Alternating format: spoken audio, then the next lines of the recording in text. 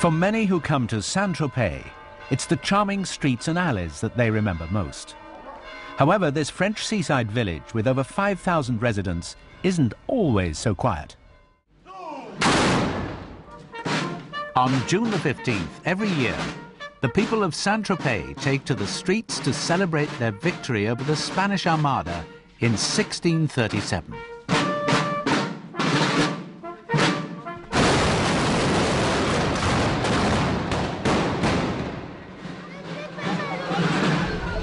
June the 15th, 2004, sees a different armada assembled in the harbour.